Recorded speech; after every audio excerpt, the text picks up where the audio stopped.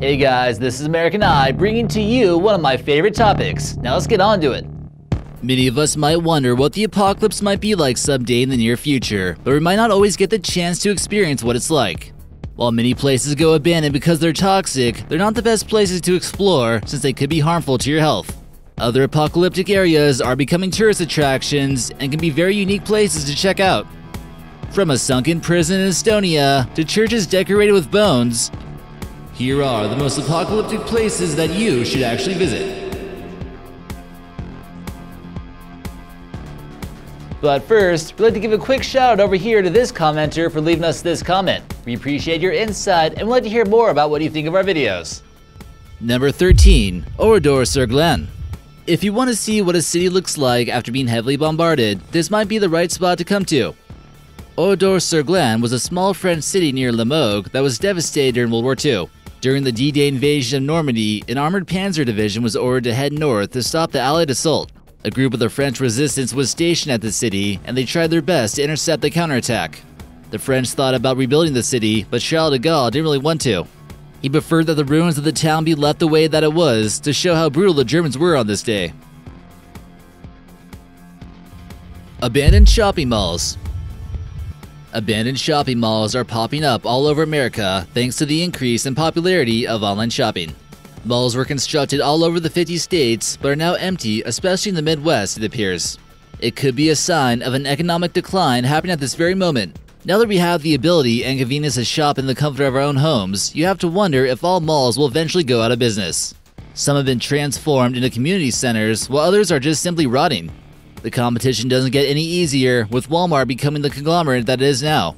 It seems as though malls will someday become like Blockbusters, Circuit Cities, and Toys R Us, just a distant memory from the past.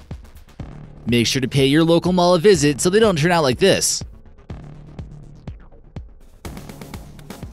Number 11. The Titan Missile Museum. Where else in the US can you visit a 9 ton replica of a weapon of mass destruction? The real one was actually moved in order for it to become a museum. However, this missile here that was used in train exercises looks quite real. The only real megaton missile silo in the US that's actually open to the public from the Cold War offers a truly mysterious apocalyptic experience for those who want to visit it. The silo is so hidden away in the vast Arizona desert that it was decommissioned in 1982 by Ronald Reagan.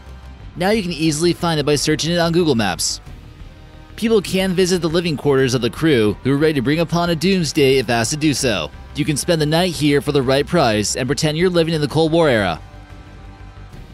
You can also check out the keyhole where people would have actually turned the key for it to be launched. Number 10. The Sedlec Ossuary. In the case of the apocalypse, bones might become a convenient building source. Located in the Czech Republic, this 13th century ossuary is certainly on the list of creepy tourist attractions in Europe. During this time, the demand for burial space at this location was at an all time high. Crusaders had brought back soil from the Holy Land, making a hotspot for people looking to be buried there. During the 19th century, there were so many bones at this location that the priests actually decided to use the bones as building blocks. The inside is basically decorated with bones along the interior, like you see in this photo, and elaborate statues are made into things like chandeliers. Number 9. Pompeii. Here's what we all might look like in the case of a supervolcano going off. The city of Pompeii was once a prosperous city in the Roman Empire until it was completely covered in volcanic ash in 79 AD. Located near modern day Naples, it's now one of the best preserved ancient cities in all of Europe. It was home to many amenities such as an amphitheater, a gymnasium, and a complex water system. During its peak, it reached a population of 11,000 people. Some of the inhabitants are still preserved from the very thing that brought their demise. Frozen in time, this is one of the only places in the world where you can see people actually turn into statues. Them and the entire city were buried in ash from the Mount Vesuvius explosion. Here in this photo, we see what's left of the Temple of Jupiter and the volcano that brought the end of this thriving civilization. Currently, it's one of the most popular tourist attractions in Italy, however, it's being quickly damaged by erosion, vandalism, and light exposure. Number 8. Pyramiden. One of the strangest and most apocalyptic places in Norway has to be the completely abandoned settlement of Pyramiden, located in the territory of Svalbard to the north. The Soviet Arctic ghost town was once prosperous due to large amounts of coal in the area, but that all the coal is gone since 1998, so are the people. However, Norway has been hoping to turn this area into somewhat of a tourist attraction. Not being situated too far from the regional capital of Longyearbyen, it's a quick hour ride by snowmobile or a few hours by dog sled. If you do decide to come here, be sure to dress warm and try not to get too spooked out by all the abandoned things here. Number 7. The Hara Submarine Base Estonia was an important area for the Soviets to fortify due to its proximity to the neighboring Finland. If enemies were able to get submarines into the Gulf of Finland, it would have certainly meant bad news for the major port city of St. Petersburg. The construction of a major submarine base about an hour outside the capital city of Tallinn was once essential to control the Baltic land. Built in 1958, it was used while they occupied Estonia up until 1991, when Estonia finally declared their independence. The site is now abandoned and there have been no attempts to repair it for any reason. Urban explorers have now claimed the base as their own, and scrapers have taken everything of value. Number 6. Pripyat and the Chernobyl Exclusion Zone. Ever wonder what an abandoned nuclear wasteland might look like? Here's a place to come. You might get the chance someday to be able to visit the Chernobyl exclusion zone if you're able to pay off the right people. More recently, it's been open to tourists, but only for a short period of time so you don't get radiation poisoning. The Duga radar installation in the Chernobyl exclusion zone is an abandoned Soviet military project that is just completely massive. This was constructed in order to detect enemy aircraft missiles or other objects before they were able to fly into Russia. The abandoned city of Pripyat, however, absolutely must make this list, and there's no way around it. Just be careful of the radioactive bears while you're exploring through the wreckage. Number 5. The Gartloch Mental Hospital.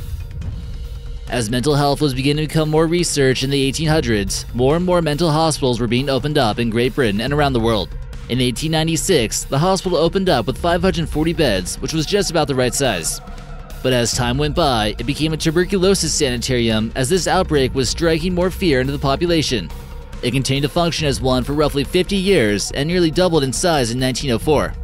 Eventually, once tuberculosis became less common, it just functioned as a hospital up until 1996 when it finally closed its doors. It's been a popular place for urban explorers to check out and get spooked out by any little noise. Many claim it's quite haunted though, and just by looking at it, it seems to give off some spooky vibes. Number 4. Rummu Prison This abandoned prison, located in the country of Estonia, was once considered to be Europe's Alcatraz, and certainly not a place you'd be willing to go to. A quarry was formed in order to gather marble in the 1930s, but it quickly became a prisoner camp where subjects would be forced into a life of slave labor. Near the quarry, there are two prisons, with the one being most visited being Rummu Prison. Groundwater began to rise here and it submerged the prison, but surrounded by crystal clear waters and white sands. The flooded prison was once home to much human suffering, also became a dark tourist attraction for thrill seeking scuba divers. Built from limestone, this housed an estimated 7,000 convicts between 1930 to 1931. It might not look like there's much to explore from the outside, but there's seemingly an endless amount of things to explore underwater. In present times, local Estonians enjoy having picnics in this area, Number 3. Trans Allegheny Lunatic Asylum. Who want to take a tour of a haunted lunatic asylum from the 1960s in West Virginia? If the zombie apocalypse broke out during the 19th or 20th century, it certainly seems like it could have started right here. Not only is it apocalyptic, but it's also one of the most haunted places in the country that you can actually visit. This location once housed thousands of mentally ill people. It's said to be home to unexplainable voices and sounds that would send chills down your spine. Hundreds have unfortunately died here, and it's believed the souls of the mentally unstable still wander the hallways. Number 2. The Sarajevo Bobsled Track.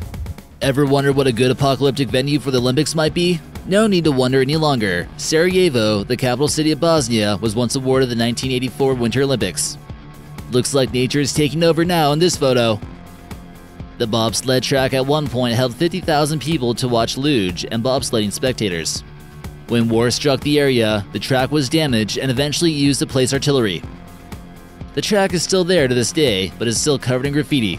Now that the war is over, people enjoy using this area for bicycling. And number 1, Imber Village. This ghost town, in the UK, is one of the stranger ghost towns in the country that tourists are actually allowed to visit. Located on the English Channel, just west of Portsmouth, residents were forced to flee their homes so American and British troops could train for the invasion of Normandy nearly 70 years ago. Residents thought that they could return to their city once the training was over, but they thought wrong. it was deemed that the land was too strategic for the military, and the town remains abandoned even in modern times. It's now the largest army training grounds in the UK, and seems like a great place for some paintball. Visitors are allowed to come on certain days of the year, but the Ministry of Defense can withdraw access on short notice.